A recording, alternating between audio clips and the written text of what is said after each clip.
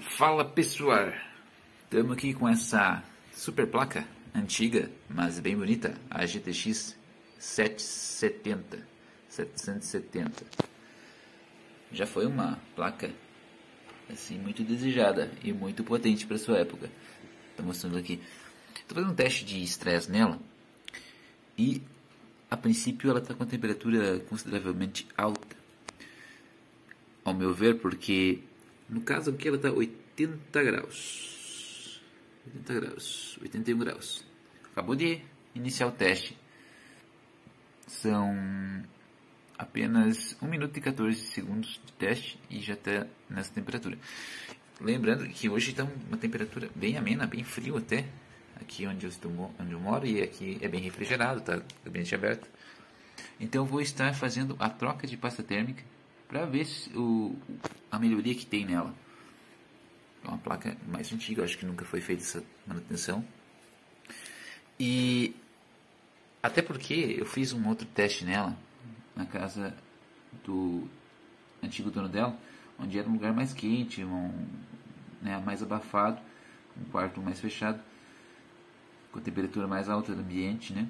Então chegou a 90 graus, até aqui ó, já está chegando a 85 então é uma temperatura bastante alta, embora essa placa, pelo que eu andei dando pesquisada online, ela tem é, uma temperatura máxima de 90 e, ou 98 graus, eu acho, sei lá, algo assim.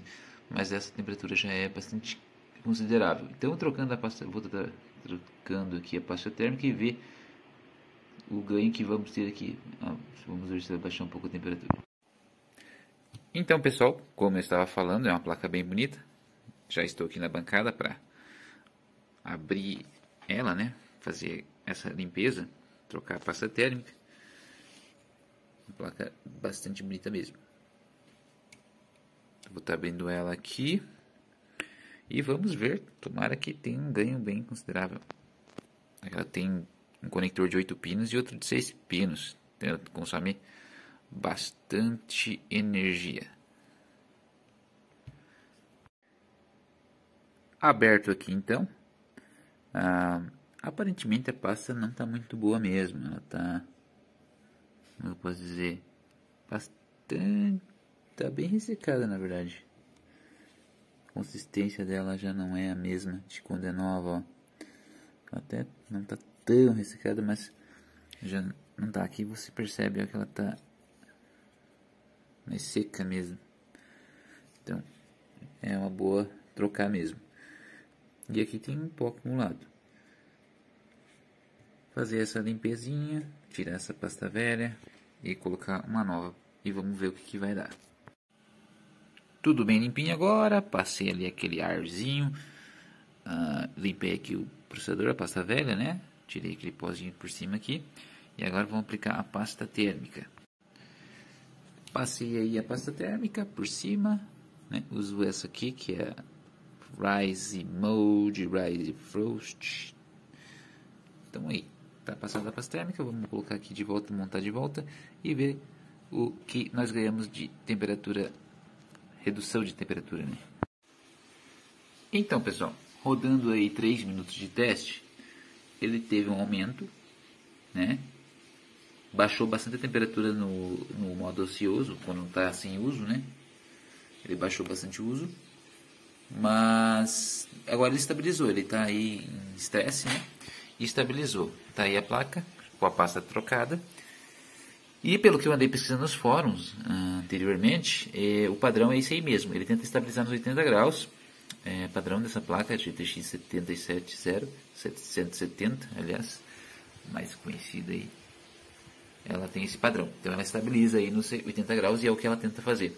E ela não está com a rotação máxima da, do fan, pelo que eu posso ver aqui no, no programa do HW Monitor, o fan dela está com 68%. Então tem uma margem bem grande ainda para rotação. Então se ele precisar se ele precisar esfriar mais, dá para aumentar aí o, a rotação do fã. Então tá bem bacana. Agora eu acredito que já está normalizada essa questão. Ela está bem silenciosa ainda, está em 68% ali a rotação do fã, está bem tranquilo. Então para jogar aí já já está bem consideravelmente controlada a temperatura. Óbvio que se estiver mais quente ela vai aumentar a rotação do fã para manter essa temperatura dos 80 graus. E é isso aí.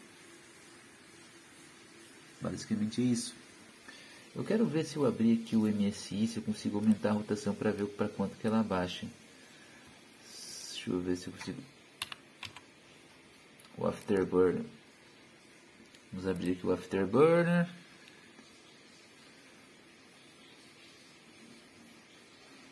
Uh, 80 graus gravados. Vamos fazer o seguinte. Está no 68, né? Fan speed ali, tá, também está marcando. 68 no fan speed. Uh, colocar aqui pro.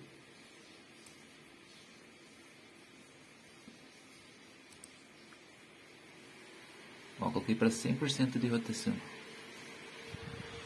Olha, agora sim, aumentou bastante o barulho. E realmente a, o fluxo de ar aqui aumentou muito. E bem barulhento mesmo. Mas. Não, até agora não vi a temperatura baixar muita coisa não. Baixou um grau.